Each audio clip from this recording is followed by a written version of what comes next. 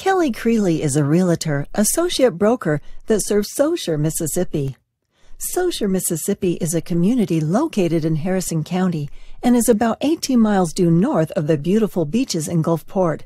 Saucier is not incorporated and is a census designated place or CDP. Saucier is part of the Gulfport Biloxi Metropolitan Statistical Area. According to the U.S. Census Bureau, the population of Saucier was estimated to be 1,342 in 2010. The first settlers in this area that was once heavily forested were Sauciers.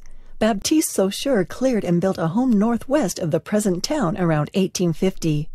Sometime during the 1870s, a younger brother of Baptiste, Bernard Saucier, built a one-room building that was used for a school as well as a church and town meetings.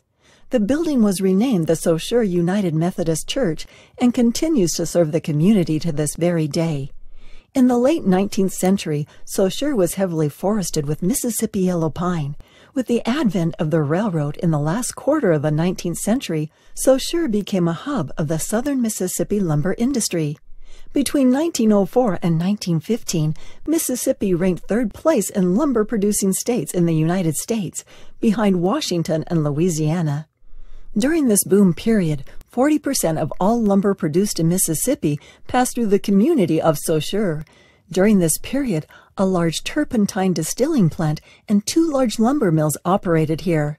Saucier is conveniently located and is only a one and one half hour drive to New Orleans. And Saucier is only a 25 minute drive to the most beautiful sugar white sand beaches on the entire Mississippi Gulf Coast along with access to a vast array of terrific restaurants, outdoor attractions, and scenic byways, and the excitement of two 24-hour nonstop casino resorts in nearby Bay St. Louis, one in Gulfport, and eight in Biloxi.